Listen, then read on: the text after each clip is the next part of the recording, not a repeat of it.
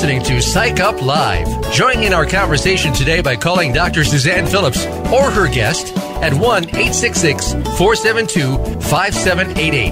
That's 1 866 472 5788. You may also send an email to radio host Phillips at gmail.com. Now back to Psych Up Live. Welcome back to Psych Up Live. We're speaking with Dr. Joel Evans about digital connectivity. And I was just asking Dr. Evans um, about the findings in terms of the very different usage between the different platforms on social media and also that socioeconomic level, Dr. Evans, and education seems to play a part. Tell us a little about that. Uh, well, first of all, uh, there's been a lot of research done across platforms, and the major ones that have been studied are Facebook, Instagram, Pinterest, LinkedIn, and Twitter. And there are differences in the demographics for those groups, um, so that um, uh, Facebook has much different uh, uh, demographics than, let's say, LinkedIn. But what we do see is, in addition to age, we see that education and uh, income have a tremendous uh, impact uh, across uh, every one of the uh, platforms. So, in terms of education, it has to do with the comfort level of using social media, the fact that we're more likely to use it at work, which means that we know, you know, more platforms, uh, know more devices, um, and that there is a correlation, a strong correlation between education level and income level. So as our income, as our education goes up, our uh, income goes up. excuse me. So that means that we're more able to afford the 3.6 devices, or perhaps the six devices, or whatever it is that we are uh, using, and um, we're able to buy the more expensive devices. You know, we're likely you know, 90% to have uh, an iPhone instead of a more basic uh, smartphone. So I think those things uh, are contributing factors. Mm. Okay, so now in terms of all that you've seen of the good and the bad, and maybe you can mention a few of the real valuable reasons for using internet connection and staying connected and some that aren't so good. I also would like you to share given how much you research this area and talk about it, some recommendations. So, what would you say would be the prime good reasons that advantages to staying connected? Well, I think it, it gives us the ability to be connected in real time. So, uh, if you think about so what we call now snail mail, of how long it takes to get to somebody, or even email, which may they take a while for people to read because they're not on their email as much as they're texting. You know, there's this real time uh, element. Um, as I mentioned before, this is a way for people who are lonely or shy or quiet to be able to interact with people, uh, to be able to chat with people, to get to, to make friends. Um, we do it to be entertained. The amount, it's uh, uh, the statistics on the amount of the millions of hours of, of YouTube videos that are uploaded every hour um, is incredible. So we have the ability to be entertained. Um, we can shop more conveniently and comparison shop. We can get a lot of information on virtually anything. Um, we can get and give opinions. I mentioned that before. And one of the other big, really big things that's driving the expansion of this now is the mobile devices because people are more likely to uh, be connected through their mobile device than they are through through their computer, uh, their their either their laptop or their desktop, and to be on for you know longer periods of time because of the portability. So I think those are some of the uh, good good reasons. I think and people like to play games, and you know there are all mm. types of games that are uh, everything from just a plain uh, the thrill of an action sport game to something that's more intellectually challenging. You could there are, there are uh, sites that have free crossword puzzle games that are uh, that are pretty uh, sophisticated. So I think there's and we can join groups. We could you know if we have uh, an ailment or we have a particular interest, we can always find a group, type it in, uh, and and find that group. Uh, but we also have some uh, negative things. Uh, one is becoming too obsessed or addicted to being being connected, almost not you know not not looking at your watch or not even knowing that you're on, or feeling that you have to get up you know before you get out of bed every morning, you've got to check or you're checking. You know, my undergraduate class is 85 minutes do you really need to check your phone five or ten times in that 85 minutes? What what actually is going on? So we get obsessed. We tend to waste time if we're on too long. We can be distracted. Just think of being in a city environment and bumping into somebody as they're texting and not watching. Um, employers, as well as you know people like me, complain about uh, the lack of uh, social, loss of social skills, uh, the loss of writing skills because we so much use uh, shorthand and, and lingo. Um, there's a lot of uh, bad information that's online, fake news, alternative news, etc. And um, th- there's been a lot on Facebook. Sp- Facebook is is hiring thousands and thousands of people to police this now, so we have to be hmm. careful of that. Um, probably the most important one on, on my list is, you know, the, the hate mongering, the bullying, the sexting, you know, all of these bad things that go on. And I would just mention that la- last week, a young lady was convicted of manslaughter uh, because of the way that she um, was talking her boyfriend or former boyfriend into committing suicide. He had been suicidal.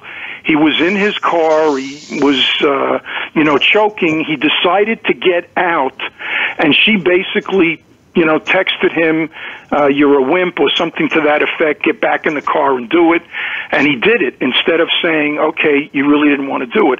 So it was determined because he was out of his car that she egged him on the last way. So there's, it, it, it, there's a, an ability to be bullied, which is absolutely incredible.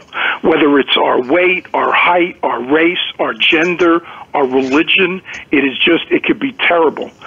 People should be aware that there's not nearly as much privacy as they think. Um, just uh, within the last couple of days, Google has announced that with Gmail, which is the most used email in the world, that they will stop scanning messages looking for opportunities to advertise specific products to you. So I don't know about the other listeners, but I know I was surprised to read that they're scanning every email that I sent through Gmail. Wow. It's amazing. It's really amazing. It is. It is. And it's a good it's a really good thing that they're going to stop doing that. So in terms of um, every age group, what take home message would you give them in terms of making online connectivity an asset? Okay, so I have a whole bunch of things, so you can stop me when you when, well, when g- give, Us, give us about two of the most important, so we have time. Two of the most important. I have so many that are important. Um, I, I think overall that people have to plan how much being on they want to they want to be involved in and be sure to engage in interpersonal activities and writing every day. That there's got to be a boundary, a limit two hours, three hours, five hours, not every day. Turn the phone off once in a while, and and don't be checking every you know ten minutes. So I think just you know setting a boundary so that we're not into this obsessive, you know, the world revolves um, around things. Um, I'm going to sneak this one in. Be careful with what the information that's provided online. Drives me crazy when people provide their their birthday, their home telephone number. Oh yeah, yeah, yeah, yeah. Don't get bull- cyber bullied or get uh, convinced to follow the crowd. Don't be cyber bullied, but don't get yourself into being a cyber bully. Um, don't be a bystander. Don't yeah, I got a bunch of others, yeah. but I'll, I'll just i I'll, give this other one main one. So I, I always talk about this. We have to think before we enter any content on any platform that may be embarrassing, inappropriate, etc. So we're talking about information of any kind, photos, opinions, videos placed online or, and I have four points to make here. One, often seen by unintended viewers. Employers go to Facebook now. So if you haven't cleaned up your Facebook account, that's a detriment. Uh, second, anything that's online has a long shelf life. So even if you delete it, if somebody else read it and wanted to spread it, they can. There are all kinds of instances of things being deleted that 10 years later you can still find them. Uh, third one, uh, stuff about you could be placed online without your knowledge or permission. Think of the fact that you're at a party, you're at a bar, you're doing something, and someone else, because everybody's got a phone these days, snaps a picture of you and they put it in Facebook. You didn't know it. Uh, it's got you uh, smoking a bong pipe or drinking and you're under 21. You don't even know that it happens. So we have to be so careful. And the fourth one is that and things that are posted about us can end up in a Google search. You know, we could never, no matter what a company could promise you, erase something negative that's online. We could only, by getting uh, more popular information about us that's listed higher, that we could get it to the second or third page that people don't read. So, wow. when in doubt, don't press send. Invaluable advice, wonderful advice.